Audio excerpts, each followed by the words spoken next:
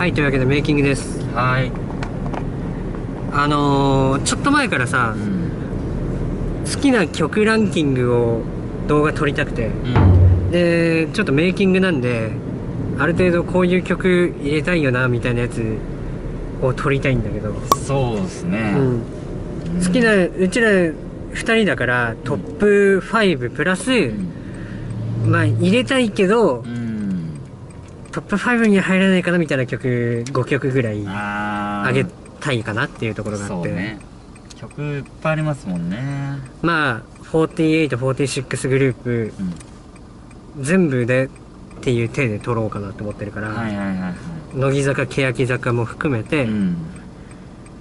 すね、そうっすうね、ん、切な系ソング。が好きなんですよ。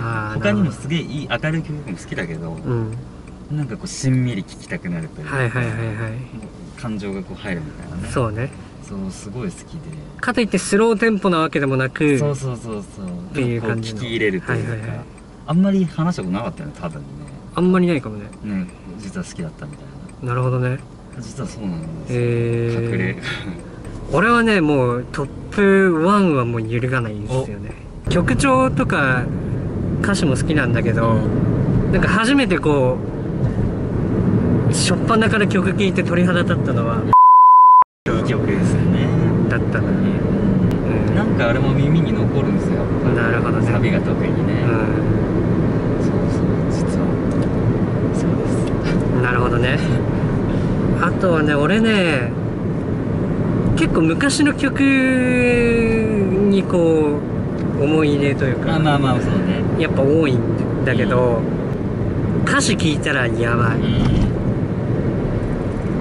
っていうのもあって。懐かしいね、うん。あれも相当前だもん。そう。なんか普通のバージョンも好きなんだけど、うん。最初ソロパートで曲が流れずにソロで歌うみたいなうん。ところから始まるみたいなのがあっああいいね。てそれがね忘れられないといいうか。いね。そういうのがあるんですよ。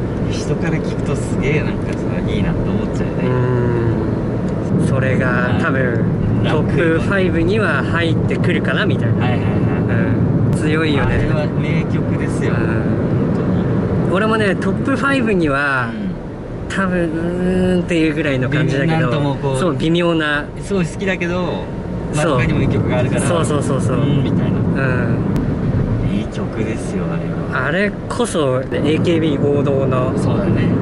楽曲というか、ね、そうそうそうそう。本当に泣かせに来るな確かに確かに。なんか誰も結構共感できるんじゃないかな。そうだねね頑張っ頑張ろうとしてる人とか、頑張ってる人が。だね。ね。で乃木坂でやっぱ一番こう総合的に見て好きなのは、ああ前から好き言ってたもんね。もうあれきっかけでこう斎藤飛鳥推しになったりとか、うん。あれきっかけでこうがっつりそれまでも聞いてたけど聞くようになったっていうのもあるから、ちょっとねこれは捨てがたいんですよね。これもあんま言ったことなかった。なんかねあじわじわ来たんですけど前からいい曲だなと思ったんだけど歌詞がすごく現代に突き刺さってるなと思ったし。うん。本当にいい曲ですね。もうなんだろうね万人受けしたというかね。そう。刺さったね。あれは確かに衝撃的なアイドルソングではないなというかね。メッセージ性は強いな。強くて俺そういうのにもやっぱ弱くて。なるほどね。うん。あれはいい曲だな LB で言うと俺俺ねい一曲だけすげえもうなんかその当時めちゃめちゃ聴いてた曲があって多分ね知らないと思うんだけど。なんかな公演曲かなんかいやあのねカップリングかなんかだったと思うんだけど、あ分かんないわそれ。あの曲はねなんか俺結構さこう切なくてゆったりめな曲調が好きな傾向があるんだけど、うん。それもなんかその代表的な曲というかもうずっとエンドレスで聴き飽きずに聴いてたのはそれなんです。すごいねコアなとこ行きましたね。もうだって4846グループ全部合わせたらとんでもない楽曲数だからさ。何千曲とか。本当に。ね自分多分全部聴いてると思うんだけど。やばいよね。ただやっぱその中でもこう印象に残ってくる曲ってさうん。やっぱどっかこうね。うんそうだよね。うん。いろんな楽曲があるしね。そうそうそうそう。さまざまなジャンルのね。うん。うん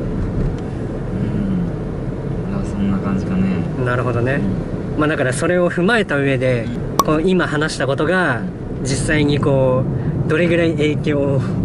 与えているのかっていうのも含めてね。うん。まあ本番は多分トップ5でうん。残り5曲ぐらいなんかん。みたいな感じだと思うから、そうですね。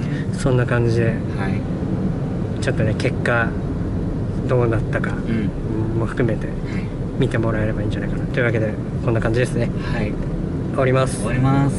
動画見ていただきありがとうございます。概要欄なんだから他の動画もぜひご覧ください。チャンネル登録お願いします。ゲーム実況もやってますのでそちらもぜひ。それではまたお会いしましょう。バイバイ